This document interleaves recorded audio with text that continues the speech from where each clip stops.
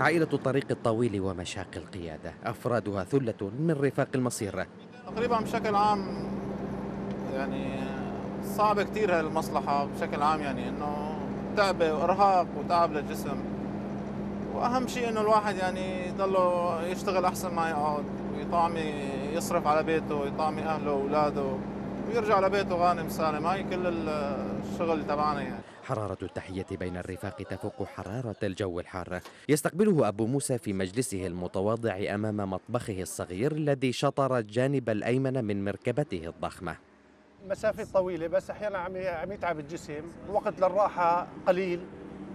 يعني ما في إنه وقت آه، كامل. مشان إنه نوصل النقلية بشكل أسرع. أحيانا المدة بتطول معي بشكل آه، يعني لسنة بشكل كامل لحتى أشوف عيالي وأهلي. طموحات يعني ما في شيء بسيط. إنه مثلا بس إنه أكفي حالي سؤال الناس بس مو أكثر من هيك وأكفي عيالي وأهلي سؤال البشر يعني.